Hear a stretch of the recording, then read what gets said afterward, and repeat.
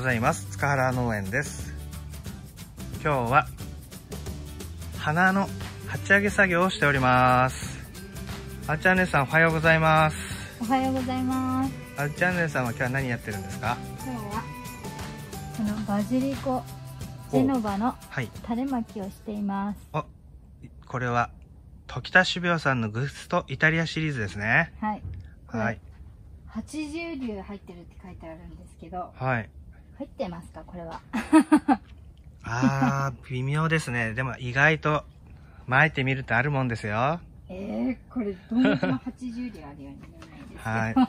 じゃあよろしくお願いします。はあっちゃんねさんは今日は、えーバジリコ、ね、アップロードするらしいので、よかったらそちらもご覧ください。い。はい。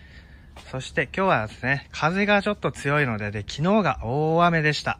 台風のような風の強さと雨ですね。畑がぐちゃぐちゃです。ということで今日は鉢上げ作業ですね、昨日引き続きやっているんですけれども、はい、こちらが、はい、チコリですね。これも、時田種苗さんのグストイタリアシリーズのものなんですが、もう定食したいんですが、天気がなかなかいい日がありません。で、夏野菜もしているので、ちょっとですね、苗も、適期迎えているんですが、少しですね、赤らんできちゃいましたね。緑色の状態の方がいいらしいですね。そしてこれが育苗中の動画で、後で、後からハッシュしてますね。枝豆です。はい。だんだん揃ってきましたね。で、オクラです。そしてこちらが、えーグリーンアスパラですね。えーと、普通のアスパラガスですね。2種類巻いてます。はい、こんな感じで細く見えるでしょうか？綺麗に発芽してますね。約9割発芽してます。発芽率がとてもいいですね、アスパラは。そして、これが、えー、トキワキュウリですね。トキワキュウリと東北種苗さんの一番星ですね。これも植えたい、路地で植えたいんですが、ここ数日、夜の気温がですね、夜温が低いので、えーちょっと、あれ？なんか、動いてますね。何かいますね。何ですか、これは？なんか、う土の子みたいなのが今、今、いましたね。おはようございます。あれ？おはようございます。何やってるんですか？何やって、何やってるんですか、そこで。あったかいから入ってきちゃったんですね。いけませんよ、ここは育苗ハウスですから。はい。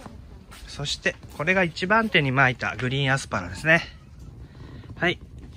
綺麗ですね。観葉植物みたいですね。あももうそろそろ、全株は鉢上げしないとダメですね。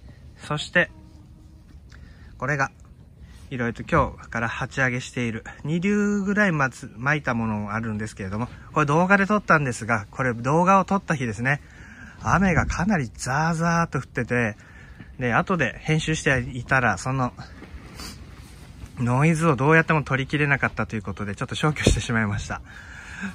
えー、ハッシュしたのが3月の14日にいろいろとハッシュしたものが、まあえーまず、金魚草、オジギ草、で、アスターに、クルメケイトウに千日紅とあります。はい。で、今、アスターを、えー鉢上げしているとこです。はい。そして、えーこちらが、マリーゴールドですね。アフリカンマリーゴールドとフレンチマリーゴールド、両方あります。やっぱりアフリカンマリーゴールドのが大きいですね。で、途中、ところどころこのように花芽を持たせているところは手で、ですね。摘み取ってます。適化ですね。はい、えー、こし、そしてこちら、えー、ビットリア、イタリアンパセリです。はい。いい感じですね。これはもう定食適期ですね。ちょっと肥料分が抜けているので、硬化して、が始まってますので、こういった時は、液体肥料などを、えー、上にさっとかけてあげるといいと思います。家庭菜の方でしたら、ハイポネックスという液肥が売ってますので、使いやすいと思います。はい。そしてこれが後口のマリーゴールドですね。ナスの動画で紹介した後に、ちょっと足りないから後から少しハッシュしておこうと言ったので、3日4日でこんなに大きくなっちゃったんですね。早いですね。はい。そして、えー、こちらは、これなんだろうな。あれ？これ、いっぱい、いっぱいあるから、これは何をハッシュした？あずちゃんねさん、これ何をハッシュしたかわかりますか？あ、これはあれですね。バジルとシソです。バジルとシソ、あと、エゴマですね。発芽してきてますね。はい。これがシソの、はい。塩が展開したばかりです。双葉ですね。そしてこちらが唐辛子シリーズですね。今年は唐辛子をいっぱい作ります。いろいろな品種をやります。まず激辛唐辛子。で、大和伝統野菜のひも唐辛子。そしてハラペーニョですね。タバスコにも使われる原料になります。そしてこれが後から、えー、巻いた丸ザヤオクラエメラルドですね。はい。東北育成さんのものです。少しずつ発芽してきてますね。こんな感じです。はい。やっぱり一昼夜つけた方が、で、えー、箸をする前に、オクラはですね、少し砂を混ぜて、こう、袋でこすってあげるんですね。そうすると、それから一昼夜水につけると発芽率がより高まります。はい。そして、えこちらが、はい。えー、めぐみゴールですね。はい。私が本命のトウモロコシ、黄色いイエロー種になります。はい。そして、こちらがプラチナコーンです。3月の30日に箸をしました。はい、どうでしょうか？ずらーっと。はい、これ向きをですね、関係なく穴を開けたところに適当に落としておいたものなんですが、ほぼ100%に近い確率で発芽してます。そして、はい、高さも綺麗に揃ってますね。このようにトウモロコシはそれほど向き、種をまくときは上向き下向きと気にせずとも、いずれ発芽が揃います。まあ、こんな感じで私は20年間栽培をしてきた中で、最初の頃はですね、上と下とか気にしてやっていたんですが、数が多くなってくると、どうしても時間がかかってしまう。で、適当に巻いてみたところ、それほど差がなかったということで、もうかれこれ15年ぐらい続けてますが、今のところ収穫するところ、時にですね、えー、拾い取りみたいな感じはせずに一斉に収穫ができるように収穫時期もタイミングがえ揃ってます。順調ですね。はい。そしてこちらが多段接木苗になります。はい。順調ですね。ほんのわずかですね。まあ、100本前後なんですけれども、70本だったかな。はい。これも今年から大切な貴重な苗で、えー、これは私が育苗したものではないんですけれども、えー、鉢でですね、70鉢の、えトレーで、え譲っていただいた、えーもので、今年から試験的に栽培をする、えー、ナス苗になります。継いだとこが2段階継いだというものですね。はい、より病気に強くなったということです。で、これがズッキーニシリーズなんですが、今年はズッキーニもなかなか風が強くて雨ばかりで定食が追いつきません。もう色がちょっと抜けてきてますね。ちょっと肥料をあげない、あげないといけませんね。これは時田種苗さんのゼルダジャーロ、ゼルダネロとかですね。パリーノネロとかですね。いろいろあります。丸いタイプ、細長いタイプ、で、緑色のタイプと黄色いタイプといろいろあります。そしてこれが後口に巻いた路地定食予定のインゲンです。ちょっと札は刺さってませんが、昨日夕方からですね、ずっとハッシュですね、やっておりました。で、後から巻いたのが、こちらアフリカンマリーゴールド。そして、えー、バジルですね。普通のタイプのスイートバジルになります。これは坂田の種さんのバジルですね。そして、モロヘイヤと。モロヘイヤもえー、ハッシュ動画でちょっとご紹介したかったんですけれども、昨日ちょうどハッシュしていた時、大雨で、このハウスの中でまた音声が聞き取れないと思いまして、え、ちょっと動画の方アップさせていただきません。ご了承ください。後でですね、定食時期とか、まあ、育病管理とか、改めてですね、やっていきます。あ一応ですね、これ、ハッシュしたもの、このバジルは大丈夫なんですが、このモロヘイヤですね、に関しては、まあ、オクラもそうなんですけれども、とても気温を必要とします。あの、温度ですね。で、ハッシュした後の育病管理は、えなるべく保温に努めてください。光などはそれほど気にしたくていいので、上に空いているトレーなど逆さにかけておいて、不織布があれば不織布かけていただいて、えさらに、えこのようなビニールトンネルが外でも作れる方でしたら、これかけていただいて中で保温に努める。でも閉めっぱなしでは、えー、今日のようなカーッと雲一つない、えー、天気ですね。えー、中で種が異常な高温によって腐ってしまう恐れがあるので注意してください。私は今このようにサイド面はですね、換気しております。で、こっちから今日風が吹いてますので、こっちからですね、直の風当たりを弱くさせるために、ほんのわずかだけ開けてます。はい、で、これが昨日鉢上げをした、えー、これは、なんだろうな、アスターですね。はい、アスターになります。25マスポットに、えー、鉢上げしたものです。とても簡単な作業です。で、使うバイドだけ違います。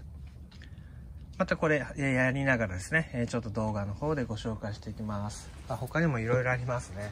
余ったないもんですね。色々あります。これは、手前にあるのは、これはツルアリインゲンですね。ケンタッキー101です。やっぱり補助苗として、えー、多めに巻いておきますので、こういった苗がちょっと余るんですけれども、余った苗は捨てずに、近くの家庭菜園やってる方にお裾分けしてます。はい、えー、それではこちら、アスターを使って、えー、鉢上げをしていきたいと思います。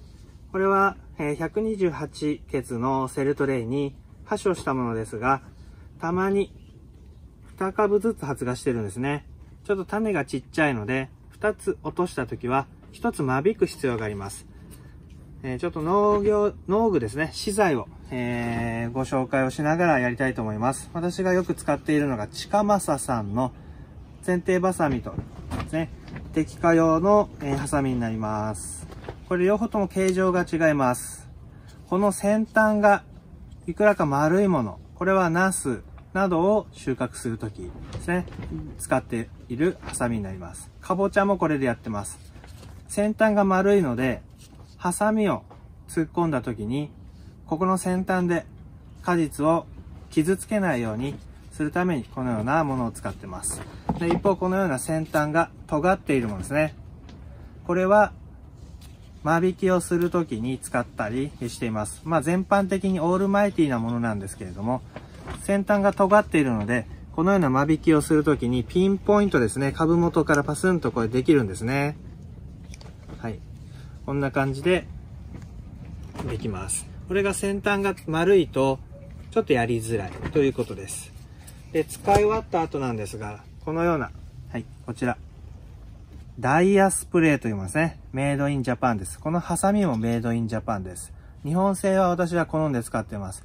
でまあ、この理由もやっぱり日本製というものはとても丈夫です。そして使いやすいように、同じように見えても、いろいろなボトルが出ていますが、またハサミもいろいろなものが出ているんですけれども、とても使いやすいです。長く使っていればわかります。でこのハサミのこのブレードなんですけれども、これはステンレスは絶対使わないです。えー、収穫包丁もそうなんですが、切れ味が全然違います。研げば、すごく切れ味が良くなるんですね。ステンレスももちろん研げば切れ味は良くなるんですが、炭素鋼を使うようにしてます。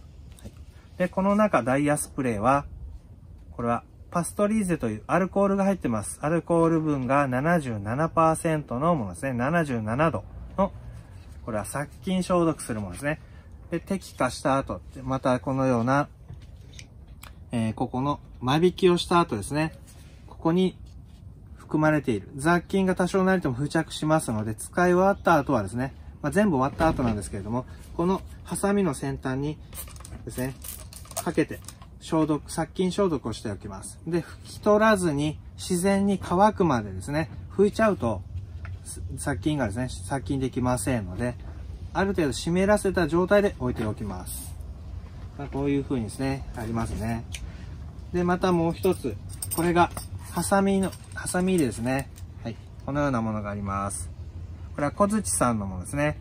単体でこのように販売しているんですが、ここにベルト用のフックがあります。ベルトを通せば腰にかけたまま、ハサミがこのように収納できる。手が、両手が使えるんですね。で、これ一回ベルトに通しちゃうと、脱着が大変なので、これも別売りでワンタッチでできる。これも日本製のものですね。フック。このように金具がついてます。こんな感じ。カラビナみたいなものですね。これをベルト、まあ今はベルトしてないんですけど、ベルトにかけておけば、ちょっとトイレとか行きたい時とかありますよね。そういった時は、これが邪魔です。で、ベルトをやると大変なので、これごと外して置いておけるということですね。こういうようなものを使っております。じゃあ、鉢上げをしていきましょう。あ、もう一つ、これですね。鉢上げ用のフォークです。として使っているんですが、これただ単にケーキとかで使っている家庭用のですね、調理、えー、まあ食器のですね、カラトリーですね。はい。小さなケーキ用のフォークになります。そして今日は25マスのポットに鉢上げをしていきます。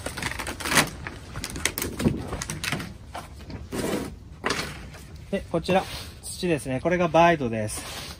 これはキャベツ、白菜、ブロッコリー、カリフラワーなどで使うものではなくて、少し目の粗いものが入っている鹿沼土、また草番ですね、えー、などの枝が入っているものですね。いくらか堆肥のような感じです。これを攻めていきます。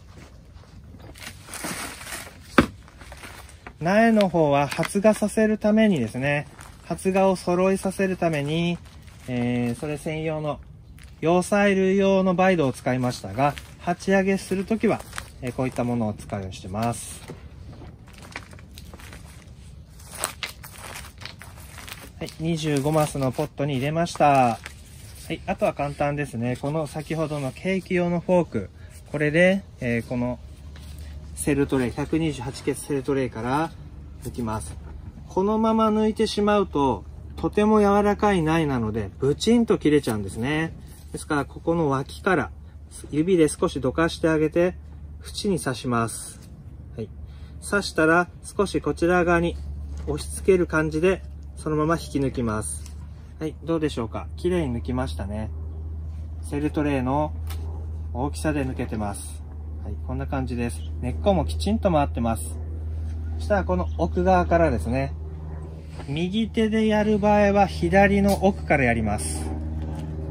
で、穴を開けて左手で指で人差し指で穴を開けていただいて、そこへそのままこのセルトレイから抜いた苗を入れて、で、軽く指で押し込押し込みます。これで終わりです。これの単純な繰り返しをですね、していきます。作業自体はとても楽ですね。ただ準備をするまでが時間がかかるだけであって、鉢上げというものはさほど、あのー難しいことではありません。ただ、鉢上げをした後の育苗管理が重要となってきますね。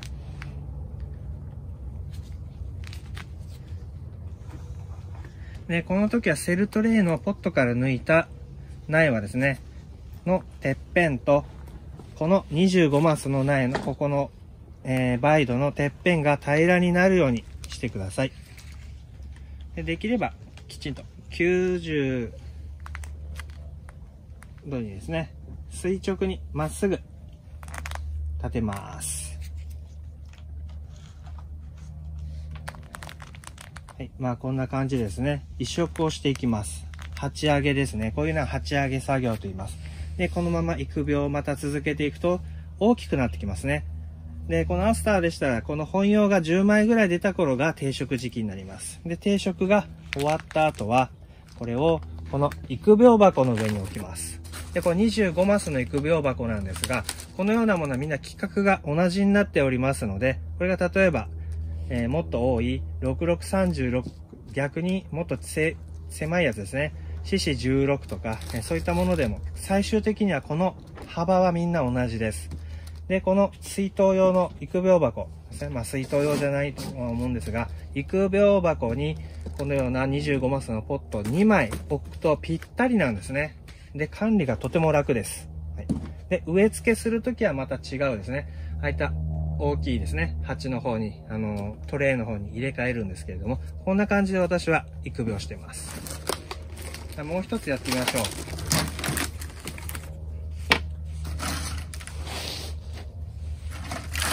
鉢上げ専用とか書いてあるバイトの方がいいですね。やっぱり畑から土を持ってくるというものは農家さんでしたらきちんとその薬剤を使ったりまた雑菌が入らないような清潔な土ですねあまり病原病原菌が入っていない病害虫のいないないバイドでやっているのでいいと思うんですが家庭菜園の方ではなかなかその辺は難しいと思いますので鉢上げなどをするときは市販のバイドを使った方が成功率は高いです。途中でですね、ここまで発芽がきちんとしたのに、え最後のバイドをですね、で、え病気が入ってしまって、失敗したという方が結構いらっしゃいますので、その辺気をつけてください。そしてこちらが、はい、おじぎ草ですね。あと金魚草もあります。これおじぎ草ちょっと見てください。これすごいですよ。おじぎ草、懐かしいんじゃないですか？私は小学校の頃はですね、おじぎ草は学校で夏、夏にですね、一人一鉢ずついただいたことがありました。えー、触ると、こう、閉じるんですね。食虫植物みたいな感じです。よく開いたものでちょっとやってみましょうか。じゃあ、この辺りで行きましょうか。これを少し触れると閉じます。いきます。ちょん。はい、どうでしょうか閉じましたね。閉じます。これも触ります。閉じます。閉じます。はい。こんな感じでお辞儀をするんですね。はい、行きます。ごめんなさい。ありがとうございます。いらっしゃいませ。ごちそうさまでした。こんな感じですね。かわいいですね。お、とても大きくなりますので、このお辞儀草を鉢上げするときは、えー、25マスのポットではなくて、10センチポット、10.5センチポットの方がいいです。ではちょっとこちらの金魚草を使って鉢上げをしていきます。で、鉢上げをするときはですね、まあ、一斉に反らない場合、こういった縁がなるべく全、こう小さいので、中からやった方がいいですね。大きなものから選んで、えー、順次小さいものはですね、やっちゃ、あのー、から鉢上げした方がいいですね。これも同じです。フォークで刺していただいて、根っこが出てますね。で、右手の方は左の奥から鉢上げすると作業が楽です。で右からやってしまった場合、なぜ左からやるかと言いますと、まあ、例えば左に、あ、右奥から入れますね。右奥に入れました。私は右手です。そうすると、どうしましたか？はい。で、えー、ここ、こうですね。穴を開けます。で、右で苗を落とし込むときに、どうでしょうか？ここ、苗を触ってますね。こう、ぶつけちゃうんですね。ちょっとやりづらいです。これはまだ小さい苗なので、鉢上げは、さほどどちらからやっても、そんなに大差はないんですが、ここで癖をつけておくことですね。左からやる、左からやると癖をつけておくこと。とても小さいので、えー、今なんてことないんじゃないのと思うかもしれませんが、えー、これが夏野菜のシシトウ、ピーマン、ナス、トマトなど結構背丈を大きくして鉢上げをするものは背丈が大きいですよね。そういった時に触れてしまうと傷めてしまう。折ったりしてしまうことがありますので、右でやると、ほら、こうなんですね。もうここはあ上を、右手が上にかぶってますね。指が当たってます。こういう意味もありまして、私は左の奥から鉢上げはするようにします。ここでしたら、こっちは手は空いてます。指で穴を開けるだけです。で、こっちはですね、まだ植えてませんので、楽、こっちの方がわかりやすいかな。はい。じゃあ、ここに一発目植えますね。はい。じゃあ、2回目植えましょう。さて、ここで、邪魔を手が邪魔をしているか。まず左手、穴を開けます。はい。ただ人差し指で穴を開けるだけなので大丈夫ですね。で、じゃあ植えます。植えるという、こっちに苗がありませんね。はい、全然大丈夫です。どこからやっても、このようにしても、障害物がありません。ということですね。ですから、右手の方は、えー、右、左、奥から鉢上げをすると、定食です。まあ一色ですね。をするといいですね。はい、えー、こんな感じです。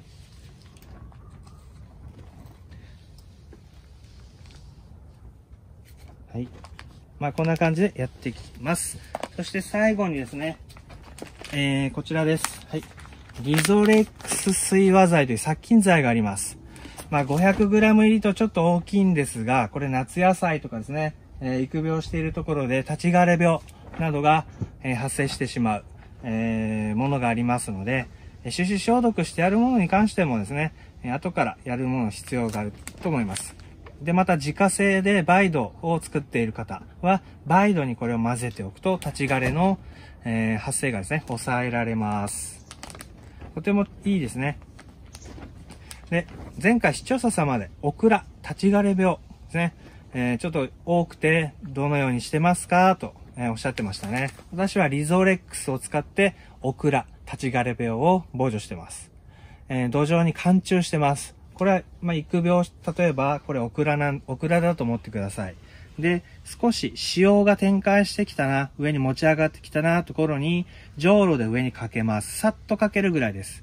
で、定食する時期に、えー、定食の、えー、マルチの中にですね、敷く前に、えー、やったり、また定食した後に、穴をめがけて貫中処理するのもいいですね。はい。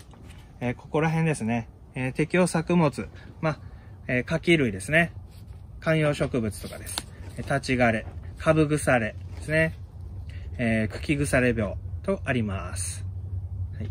このようにして、花も私は定食した移植しですね、鉢上げなどをするとき、またバイドなどにも使って対応してます。まあ、大体1000倍ぐらいですね。標準で色々とその作物に応じてまばらになっていますが、私は1000倍で希釈したものを使ってます。で、霧吹きなどでシュッシュッとやってもいいですね。まあ、じょうろに入れてパッとやっちゃうのが一番早いです。はいこんな感じで、えー、切り花の、えー、苗のですね、鉢上げ作業は以上になります。あと、農具のですね、えー、道具、えー、資材ですね、などの紹介も、えー、ちょこっとだけさせていただきました。また、どういったものを使ってますかとかですね、えー、知りたいことなどありましたら、えー、コメント欄にてコメントください。また、この動画がいいと思われる方は、高評価ボタンを、また、チャンネル登録をよろしくお願いします。いつもご視聴いただきありがとうございます。またよろしくお願いします。